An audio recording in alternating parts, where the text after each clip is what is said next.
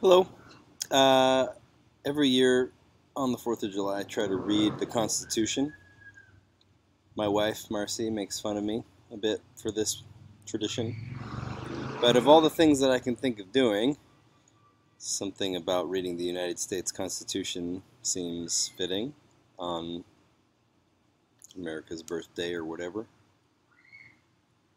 So, uh, in in Marci making fun of me to some friends last night, those friends uh, encouraged me to read the U.S. Constitution, put it up online, Facebook or whatever. Um, so here we go.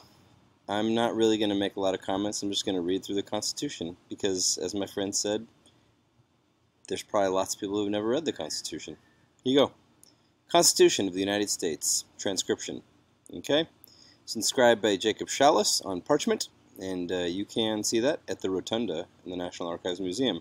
I'm on the National Archives uh, founding docs transcription of the United, United States Constitution. Here we go. We the people of the United States, that's that's us. I mean, it was them then, but we, we are the people of the United States. In order to form a more perfect union, establish justice, ensure domestic tranquility, provide for the common defense, promote the general welfare, and secure the blessings of liberty to ourselves and our posterity, I guess more technically that's us, do ordain and establish this Constitution for the United States of America. Article 1, Section 1. All legislative powers herein granted shall be vested in a Congress of the United States, which shall consist of a Senate and a House of Representatives. Section 2. The House of Representatives shall be composed of members chosen every second year by the people of the several states. Of course, there's been several more added since this was written. And the electors in each state shall have the qualifications requisite for electors of the most numerous branch of the state legislature.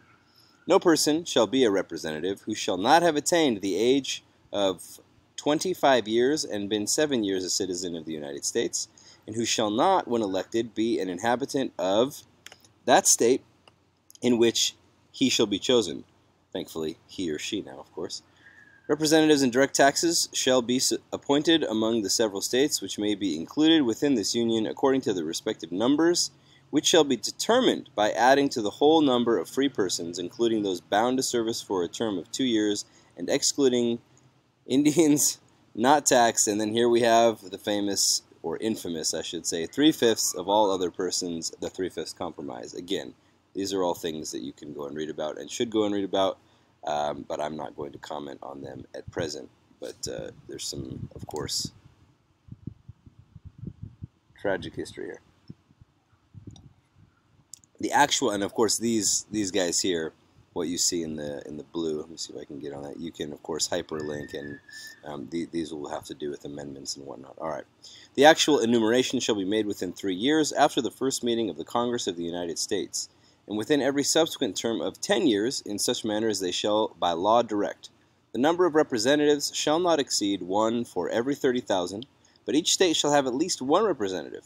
And until such enumeration shall be made, the state of New Hampshire shall be entitled to choose three, choose three, Massachusetts eight, Rhode Island and Providence plantations one, Connecticut 5, New York 6, New Jersey 4, Pennsylvania 8, Delaware 1, Maryland 6, Virginia 10, North Carolina 5, South Carolina 5, and Georgia 3. When vacancies happen in the representation from any state, the executive authority thereof shall issue writs of election to fill such vacancies. The House of Representatives shall choose their speaker and other officers and shall have the sole power of impeachment. Section 3. The Senate of the United States shall be composed of two senators from each state, chosen by the legislature thereof for six years, and each senator shall have one vote. Immediately after they shall be assembled in consequence of the first election, they shall be divided as equally as may be into three classes.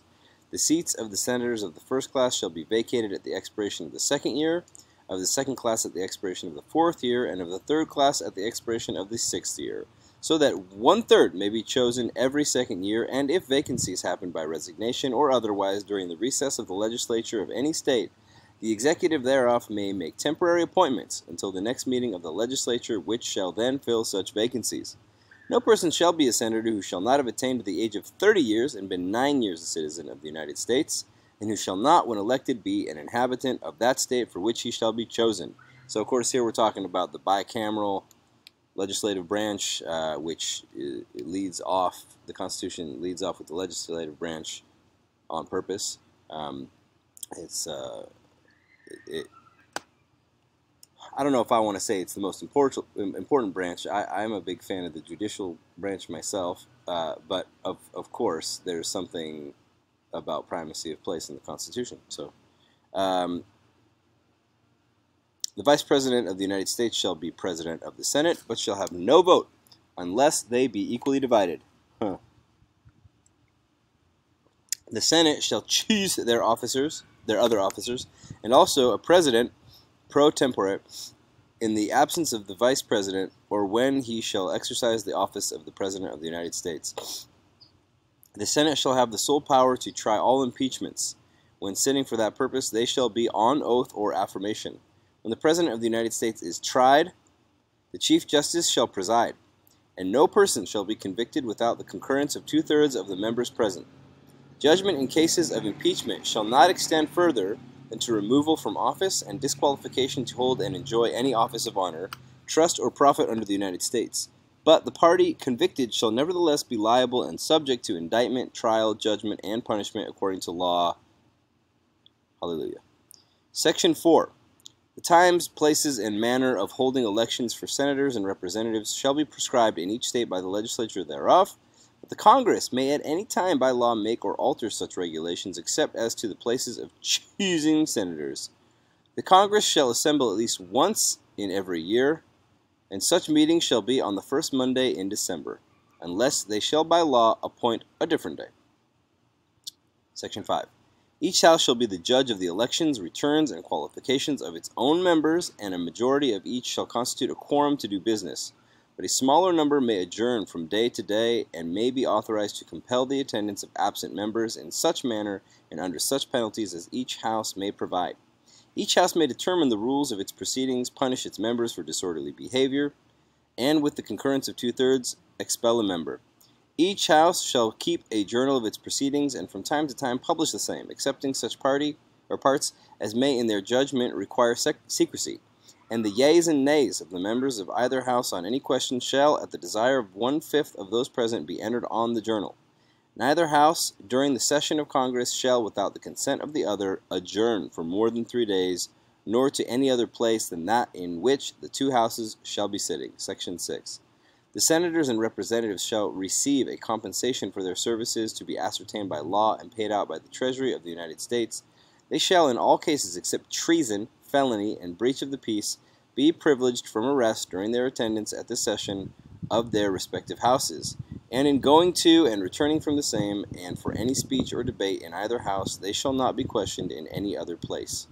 No senator or representative shall, during the time for which he was elected, or she, be appointed to any civil office under the authority of the United States, which shall have been created, or the em emoluments whereof shall have been incre increased during such time. And no person holding any office under the United States shall be a member of either house during his continuance in office. Section 7. All bills for raising revenue shall originate in the House of Representatives, but the Senate may propose or concur with amendments as on other bills. Every bill which shall have passed the House of Representatives and the Senate shall, before it become a law, be presented to the President of the United States. If he approve, he shall sign it, but if not, he shall return it with his objections to that House in which it shall have originated, who shall enter the objections at large on their journal, and proceed to reconsider it. If after such reconsideration two thirds of that House shall agree to pass the bill, it shall be sent together with the objections to the other House, by which it shall likewise be reconsidered. And if approved by two thirds of that House, it shall become a law. But in all such cases, the votes of both Houses shall be determined by yeas and nays, and the names of the persons voting for and against the bill shall be entered on the journal of each House respectively. If any bill shall not be returned by the President within ten days, Sundays excepted, and it shall have been presented to him, the same shall be a law in like manner as if he had signed it, unless the Congress by their adjournment prevent its return, in which case it shall not be a law.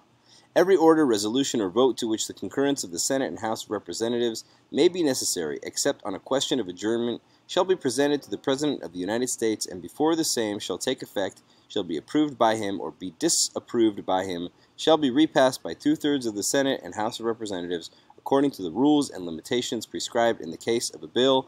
And here we are beginning to talk about checks and balances. Praise the Lord. Section 8. As you can tell, I've been listening to uh, or watching, uh, binge watching a lot of Ted Lasso. So, Ted Lasso. So that might, uh, might come out in the intonation.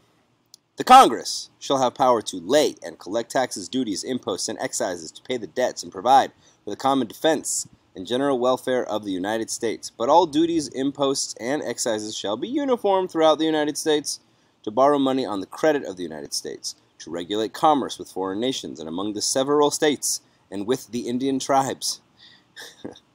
to every time, man. Just to establish a uniform rule of naturalization and uniform laws on the subject of bankruptcies throughout the United States to coin money, regulate the value thereof and of foreign coin, and fix the standard of weights and measures, to provide for the punishment of counterfeiting the securities and current coin of the United States, to establish post offices and post roads, to promote the progress of science and useful arts by securing for limited times to authors and inventors the exclusive right to their respective writings and discoveries. That's in the Constitution. That's so sweet.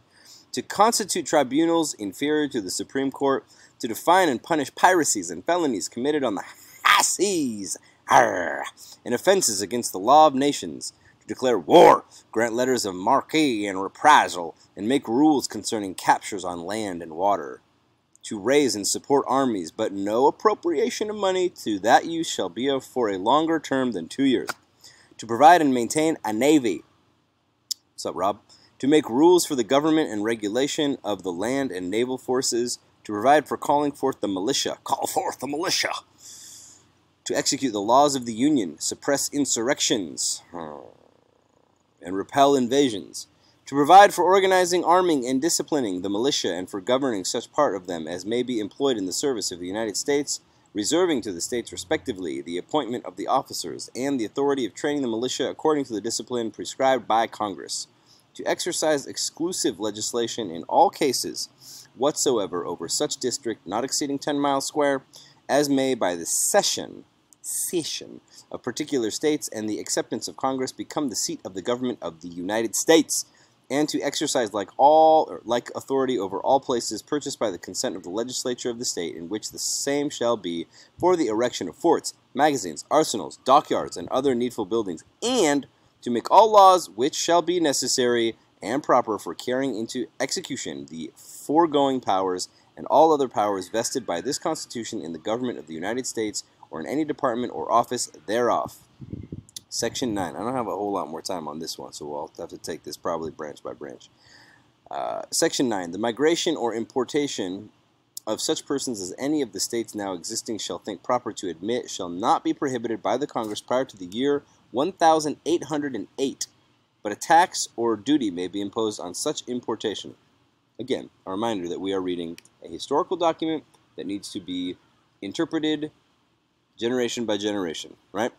Uh, not exceeding $10 for each person. there you go.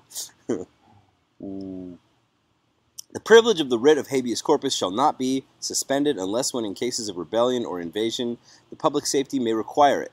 No bill of attainder or ex post facto law shall be passed. No capitation or other direct tax shall be laid unless in proportion to the census or enumeration herein before direction directed to be taken. No tax or duty shall be laid on articles exported from any state. No preference shall be given by any regulation of commerce or revenue to the ports of one state over those of another, nor shall vessels bound to or from one state be obliged to enter, clear, or pay duties in another. No money shall be drawn from the Treasury, but in consequence of appropriations made by law. An irregular statement and account of the receipts and expenditures of all public money shall be published from time to time. That's a good thing. No title of nobility shall be granted by the United States, and no person holding any office of profit or trust under them shall, without the consent of the Congress, accept of any present, emolument, office, or title of any kind whatever from any king, prince, or foreign state. That's an important one, too, as we know. All right, so I'm going to stop here and I'm going to pick it back up at section 10 in the next video.